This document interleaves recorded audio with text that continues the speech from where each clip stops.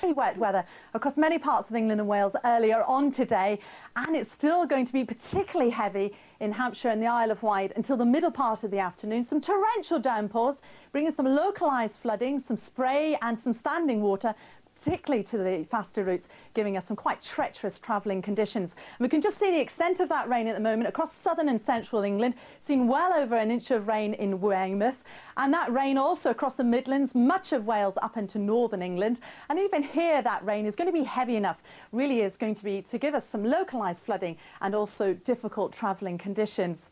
Now, that rain is going to make its way further northwards into parts of southern and eastern Scotland through the afternoon, knocking on the door of eastern Northern Ireland too. But out to the west and across much of western northern Scotland, there's a drier and brighter picture here and also turning a little bit drier too in southeastern parts of England, lifting temperatures up to around 11 degrees here.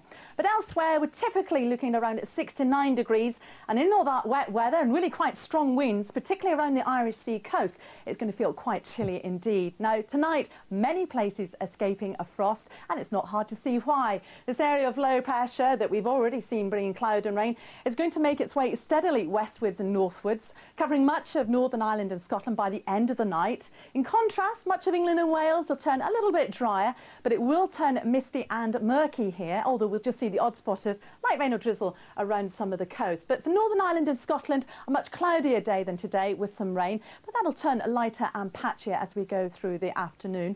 And by that time, we'll also start to see some more rain feeding up from the continent across parts of eastern England. But elsewhere, it's a dry story for much of England and Wales, perhaps even a little bit brighter too. Temperatures generally tomorrow a bit higher than today, and with lighter winds, it shouldn't feel so cold. So for Wednesday, we've still got some thicker cloud across parts of Scotland and Northern Ireland, the odd spot of rain around. Also some thicker cloud coming into southern England, quite breezy here with the odd spot of rain too.